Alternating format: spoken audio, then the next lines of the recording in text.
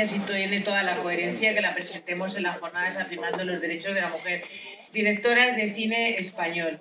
Tiene toda la coherencia porque efectivamente nosotros somos no solamente una ventana para visualizar lo que está ocurriendo con las mujeres en el mundo, sino también para poder visualizar lo que las mujeres directoras, como en el caso de Cristina, con este magnífico corto que acabamos de ver, breve. Eh, nos acompañan dos de las autoras, tanto Pilar como Mai, y nos acompaña y nos nos acompaña. Teresa. De verdad, Teresa. Y, y, y, la verdad es que. Exacto.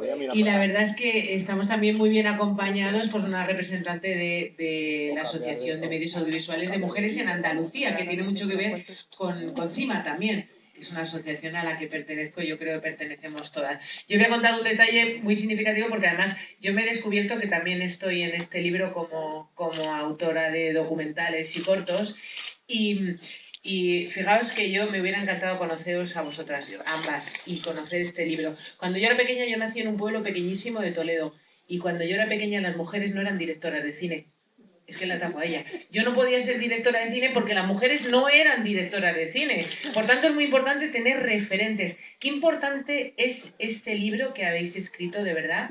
Os lo digo y os felicito, Teresa, May, os doy la enhorabuena, porque con este libro también lo que estáis haciendo es tener referentes, patrones para las chicas jóvenes, es decir, ¿por qué yo no puedo ser directora de cine? ¿Por qué no puedo ser ministra? ¿Por qué no puedo ser cualquier otra cosa? Por eso